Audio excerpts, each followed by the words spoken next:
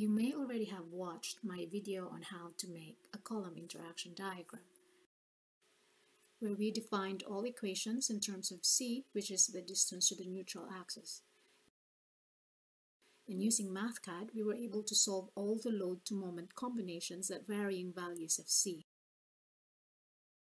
Also, we were able to plot the interaction diagram. We know that a column with eccentric loading has lots of load to moment combinations. That's why it is best to define the capacity of a column using an interaction diagram. And by visual inspection of the diagram, we can tell that a column is structurally safe as long as the applied load to moment combinations are within the usable area of the diagram. In this video, however, I understand that some may not have the MathCAD software to plot all the P2M combinations. So I'm going to show how to do a column capacity check just for a specific loading. I'm going to show three examples on how to check the capacity of a column manually. Let's say, for example, we need to find out the actual compressive strength of a column the bending moment and its corresponding eccentricity at balanced failure. Balanced failure is when the concrete and steel fail at the same time. For this example, we have a 400 by 500 mm column, which is reinforced with 8 numbers of 25 mm diameter bar with 27 megapascals concrete strength and 415 megapascals steel strength. Since concrete cover is not given, we will assume 40 mm cover. This is the minimum cover requirement for columns as per ACI code. For the lateral ties, we will assume 10 mm diameter tie. ACI code specifies a minimum 10 mm diameter tie for columns with main reinforcement not greater than 32 mm diameter. Then we can calculate for the effective depth and the depth of the outermost bar. Just to do a check based on the cross-section of the column and the given reinforcement, the steel ratio is about 2%, which is good because ACI code specifies 1% to maximum 6% for columns subjected to both axial load and bending moment. We calculate the steel areas at the extreme tension side and at the extreme compression side. Next step is to calculate the strain values and the tensile stresses. The strain in steel at yield point is calculated as Fy over Es, which gives a value of 0.0021. The strain in steel at tension side can be taken by ratio and proportion. Since we are after the balanced failure, then we shall use strain in steel equal to yield strain. This will give us a value of C, 259 mm. Using the C value, the distance to the neutral axis, let's check the strain in steel at compression side, which is given by this formula. So 0.0023 is greater than the yield strain 0.0021. This means the steel at compression side also yields. So we will use Fy for the tensile stresses at tension and at compression sides. Since we know the value of C, we can calculate the value of A, which is the compressive stress block depth. We can also calculate the value of the strength reduction factor given the strain values. The next step is to calculate the forces and the axial load capacity, bending moment, and the eccentricity at balanced failure. The forces at compression side are given by these formulas. Note that the steel force at compression side, we use Fy minus 0.85 F prime C to account for the concrete displaced by steel at compression side. We are using Fy since we are calculating based on the condition that steel yields same time with concrete. So the nominal axial strength at balanced failure is equal to the sum of all forces, which gives the value of 1984 kilonewtons. We can also calculate the ultimate axial strength using the strength reduction factor calculated earlier. This gives us a value of 1290 kilonewtons. To calculate the eccentricity, we take the summation of moments about t. Pn times the moment arm, which is equal to eccentricity plus h over 2 minus d prime,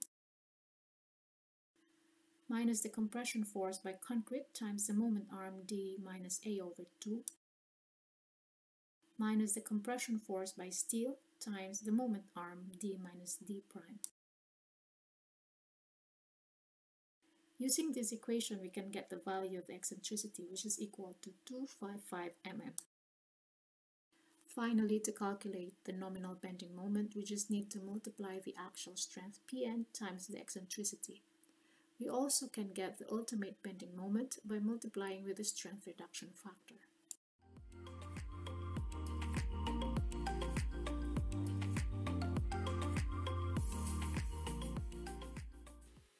Let's look at another example. This time the eccentricity is given and we need to find the actual load capacity and the bending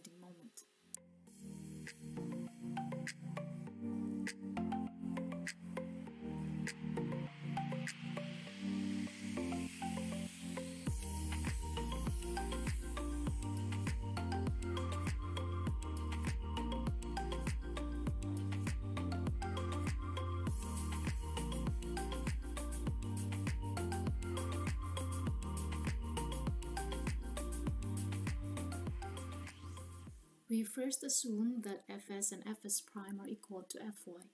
Then we calculate for the forces by steel at compression side and at tension side.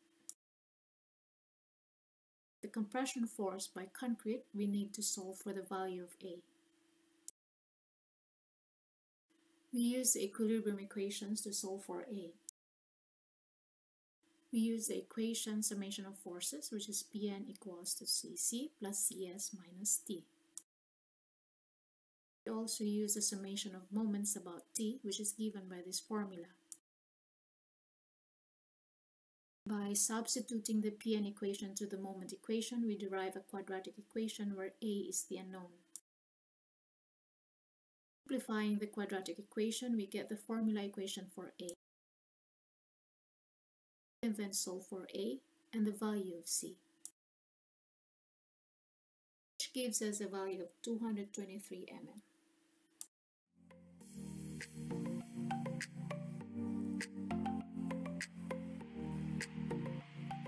Since steel yields, so our original assumption that Fs and Fs prime is equal to Fy is correct.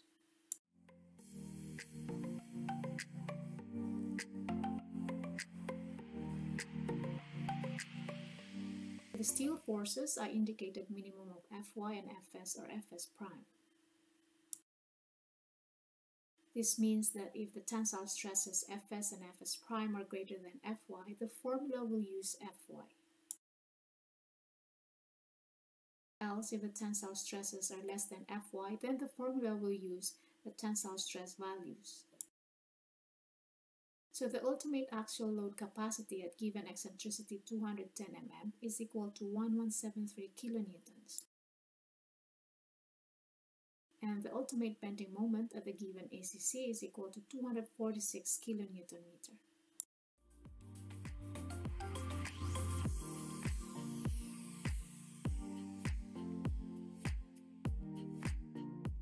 Let's look at another example. This time we need to check if the column is safe to carry a factored load and a factored bending moment. We need to check if the column is safe to carry a factored load of 700 kilonewtons and a bending moment of 140 kilonewton meter.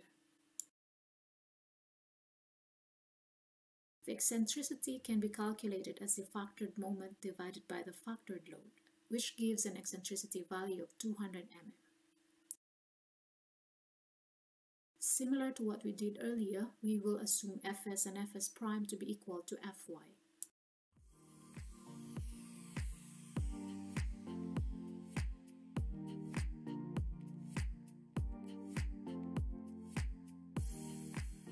Should the value of C gives the strain and tensile stress values less than Fy, meaning Fs is less than Fy or Fs prime is less than Fy, contrary to our first assumption, then we need to recalculate the value of A and C again, based on the lesser value or based on the Fs and Fs prime values.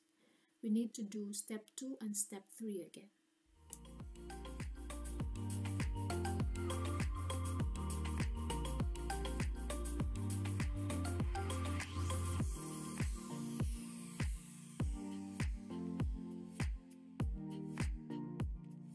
So the ultimate axial load capacity is 1202 kilonewtons, which is greater than the 700 kilonewton applied load. The ultimate bending moment is 240 kilonewton meter, which is greater than 140 kilonewton meter applied moment. So the column is safe to carry the applied load and the applied moment.